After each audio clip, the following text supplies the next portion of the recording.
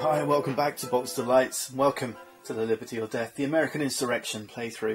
If you remember last time, we just got past the support phase of the Winter Quarters. There's a game end check here. If this was the fourth Winter Quarters, that would be it, game over right now. But we're going to push on, because we're only at the first.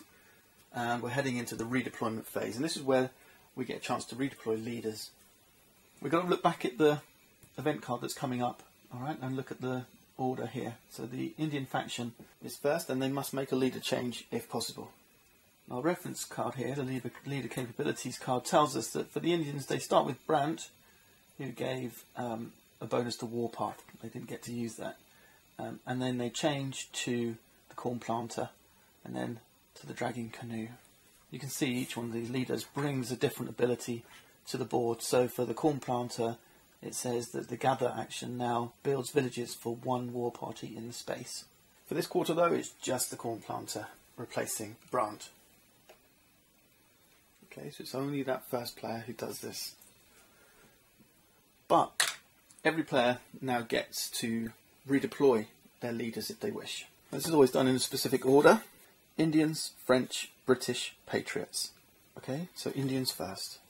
And our non-player logic tells us uh, for the Cornplanter it's to a neutral passive province with two plus war parties and room for a village. If none, then a space with the most war parties. So we're talking anywhere but a city. Um, we've got two provinces that have room for a village where the actually three, one, two, three, one down in Florida as well. New York's active. These are neutral, so it's neutral passive each province can have two forts or villages, maximum of two forts or villages. So if we had another fort here, that would be full, no more room. Okay, so it's two of any type, but we can put another village here, another village here, another village here, and also down here in Florida. Let's roll our dice and pick one of those at random. That's a 3-1, which takes us to 3 1 New Hampshire, which means if we run from New Hampshire, we get first to southwest, so the Cornplanter's coming over here. The French will be next, but they don't have a leader in place, so now it's my turn for the British. And I've got to think where I'm most likely to use my special activities, because that's when Howe's ability kicks in. Um, I think New York at the moment, because I can common cause here, I can skirmish here but not naval pressure. Common Cause lets the war parties fight for me, and then skirmish, obviously, to fight those guys. Yeah, I think we're going to try and let's put Howe here. Let's take Howe into New York, where it's more central. Once the, uh, probably in the next winter quarters, I want him in a city. So now the Patriots, and they've got Washington, and he's just going to go to the place with the most continentals. There's three here in New York and there's three here in Massachusetts. So let's roll. It's a 1 2. So it's Massachusetts. He's off to Massachusetts. They're really holding down this uh, northeast coast. Next up in redeployment is the British release date. So we get some unavailable resources come into play. And it says the first winter quarters round after 1776, which is where we're at. Six regulars and six Tories move from unavailable to available. Lots more forces now. Okay, I'm happy about that. Next up, we would lower the FNI. We can't lower it; it's still there at zero. So now we're going into the desertion phase. Militia, Continental, Tory. So in terms of removing militia first, the Patriots will do this, but this is a good thing for the Indians. The Indians get to remove the first militia. They also get to remove the first continental. So in terms of militia, they're going to choose a militia in a village, which is this one, but no more, because I think that was, is it eight on the board? One, two, three, four, five, six, seven, eight, yeah. Um, it's for every five rounded down. So with eight militia, that would only be one militia route, five rounded down, okay? To remove two, they'd need ten or more. Now Continentals, and again, the Indians get to remove the first one. So again, it's one in five. They've got three, six, seven, eight, nine, ten, eleven. Is that eleven? So they're going to remove two. So the Indians remove the first, and again it's going to be spaces with villages, which is here or here, so not here. Then they'll do the same to try and remove rebellion control if they can. So not here, not here. I don't think there's anything swinging the balance right now. And then finally to remove the last patriot of that type from the space. So the space is when there's only one continental. It is either North, North Carolina or New York City. So we'll have to randomly choose. And the roll is a 2 3. We work backwards from Philadelphia. We'll see North Carolina it is. Okay. For the second one, the Patriots get to choose, and they're going to choose the one that's not going to change control anywhere. We know that that doesn't exist anywhere, so it's going to be random, isn't it? So let's roll those dice again. So we move one from New York. That's a desertion. And then finally, Tories. And we've got one, two, three, four, five, six, seven, eight. We've just got to remove one. Unfortunately, though, the French get to choose which Tory to remove. And they are going to choose, if I look at the AI, again, it's on the, it's on the crib sheet. Uh, loyalists, remove a Tory so as to change the most control possible. So that's not going to change control, nor's that, nor's that. Then the last Tory from a space not already active support. That was active support, so we've got passive. Yes, yeah, so it's going to be one of these two. So it's going to be Quebec City or Philadelphia. That would remove the last Tory from a space not at active oppose. And of those two, we'll go for the one with the highest population. So, yeah, it's random. So it's either Philly or Quebec City we go to Philly first? Yeah, we do. So it's going to be to remove this one. That one is deserted. Notice how these forces are going back when they desert to available. Alright, they're not casualties. Now we've got a reset. And you're going to like this one. We remove all raid and propaganda markers. Everyone goes back to eligible. All casualties become available again um, or militia, and more parties flip back underground, and we get to look at the Winter's Quarters event, which, as it goes, doesn't do anything because this is about conflict in the West Indies, where well nothing's happening right now because the Treaty of Alliance hasn't been played yet. Okay, Treaty West Indies is not yet in the picture. Let's go ahead and do that, and we'll get ready for the next era. And we'll start by flipping the next card. So we know what's happening. The Indians are going to go first then the French. Let's see if this changes anything. The event here, Cherokee supplied by the British, uh, growth in strength. Place a second fort or village in a space where we have one. The Indians are going to take that event for sure. Um, place a second fort or village in a space where you have one. We have two villages on the map, one here, one here. Let's just choose randomly since there was room in both. That's a 3-2. So Pennsylvania would take us first to the southwest, so we're putting one here. And that's French.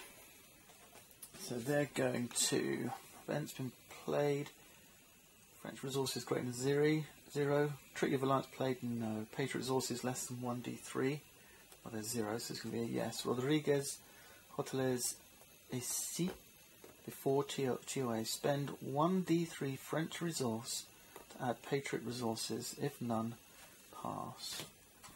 Okay, 1d3 is a 3.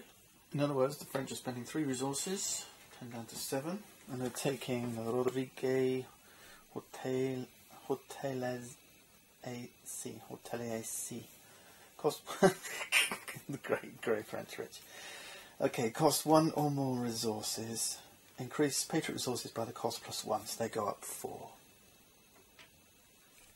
And of course they get to do their special action 2, or special activity, Préparer la guerre, which is to move any pieces from unavailable to available. Move either one squadron blockade to the West Indies, or three, not any available here, or three French regulars um, from unavailable to available. Three. Which is going to add to their preparedness. Two, three. Taking us past the French may play Treaty of Alliance. Now they are in a position to play this brilliant stroke called the Treaty of Alliance. It says it can't be trumped. What that means is another brilliant stroke can't be played on top of it to trump it. Okay? I'll talk about that in a bit. Um, but we can't play this until the French are eligible again. Okay? And it can only be played prior to the first eligible faction taking their first action. Alright? So for now then, these are going ineligible. And we're going to head into the next turn. And possibly then we'll see some activity. So, okay, we're good. If there was a winter's uh, winter quarters showing now, French couldn't play TOA. Okay, they can't do that while winter quarters is is active or showing. All right, we've got Claude Louis Comte de Saint-Germain. Uh, move five French regulars from available to unavailable for us, or move five French regulars from unavailable to available for them. And it's the Patriots to go first. So what we're going to see now then, um, we're going to see sequence of play. No, we can't do that. Limited events a matter. Patriot resources greater than zero. Yes. Rebel cubes plus leader is greater than the active royalist pieces in space with both. So we're looking for spaces where there's both. New York City doesn't count because there's more of us. New York Province, three against three. No. Um, so are we going to rally? Place four in each space with four plus Patriot units. Fort here. Can't place here, so no, they're not going to rally. Rabble rousing again. Rabble rousing can shift one plus spaces towards active opposition. Yes, okay. So let's look at our candidate spaces for rabble rousing. Is any space with rebellion control and patriot pieces, or any space where there's underground militia. So pretty much everywhere right now. This one's already active opposed. There's this one, not in rebellion control, but there is a militia here. That one's already active opposed, and so is that one. Okay, so we've got one, two, three, four. And we just so happen to have four resources. So we don't need to spend any more. So this one's active oppose. Place propaganda markers as well. Remember? So one here. Active oppose. One here. Um, active oppose. One here. And move this down from active support to passive support and activate our militia. What does that do for support and opposition? We get one more added here, one more added here, two more added here, and for New York we lose two. So four to them, minus two to us. One, two, three, four, that's what you call big trouble. minus two to us.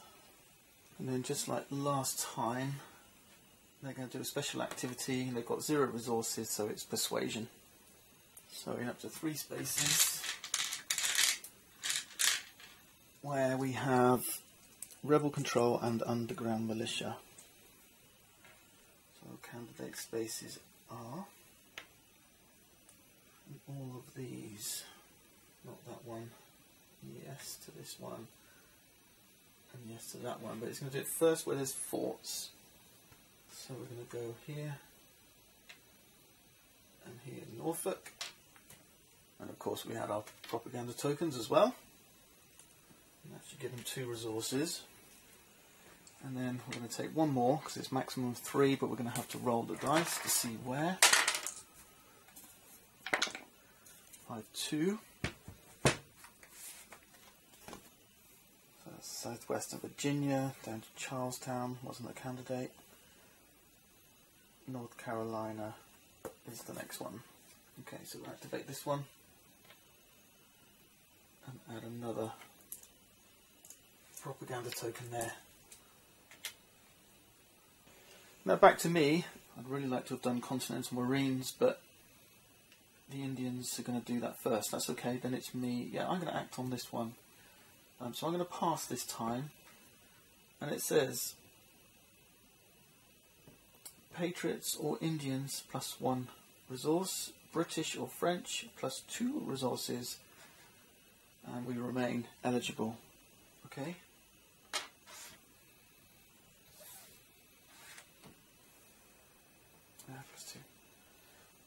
So the French aren't going to act again, but oh, before the Indians can play Continental Marines, the French play their brilliant stroke, which trumps any event in played. Other players have these brilliant strokes too. Okay, this one says uh, for the Brit for the Patriots, execute two free limited commands and one special activity in any order. Leaders must be involved in at least one of the limited commands. Right, the British have the same thing, okay? But we've got British may trump Patriot brilliant stroke. Right, so if they play this, we can play this on top and trump it and say, ah, no, you're not doing what you you want to do. We're going to do ours. So it kind of makes the Patriots a little reluctant. The Indians, well, they trump everyone um, with theirs, it's the same thing. And the French trumps the Patriots or the British, okay, with their brilliant stroke. But for now, we're doing this Treaty of Alliance, and it says that the French enter the war. French free muster and place Rochambeau there, raise the FNI level by one, and we place three French and three British regulars first from unavailable, then, if necessary, from available in the West Indies. The French and the British are coming in here. FNI is going up by one. Three French forces come from unavailable to the West Indies. But we need to first do our muster. And the AI here says for a muster, if there's fewer than four French regulars available, there aren't and then they would take the West Indies with those remaining forces. As it was, as otherwise, which is what they're going to do, muster first in a colony or a city with continentals, then randomly. Okay, so it's just one, uh, just one force coming in, one regular.